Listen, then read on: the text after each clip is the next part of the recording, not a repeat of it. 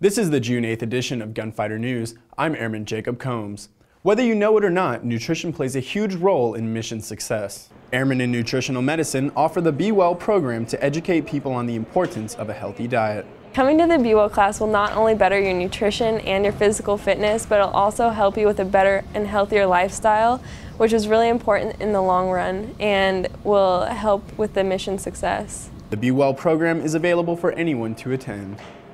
The Military Affairs Committee enjoyed a visit to the Saylor Creek Range. Airman First Class Jay Leagate has the inside scoop. Members of the Military Affairs Committee were invited to tour the Saylor Creek Range, a part of Mountain Home Air Force Base's range complex. During the tour, Air Force personnel demonstrated features and explained the importance of the range to the excited civilians.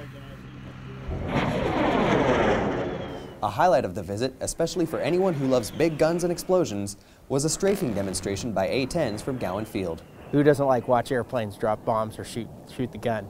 But uh, more importantly really is the capabilities that this range provides. And, and when the Military Affairs Committee, you know, when, when they're talking to our leadership about the importance of the base, it just gives them another perspective of why this base is so important, why Mountain Home is so important. The Military Affairs Committee helps build community relationships with Air Force personnel. Opportunities like this give the Air Force a chance to show appreciation for the support of local communities. From Mountain Home Air Force Base, Idaho, I'm Airman First Class Jay Leagate. Now let's take a look at some Mountain Home moments. Airmen on Mountain Home Air Force Base gathered in formation in honor of Memorial Day.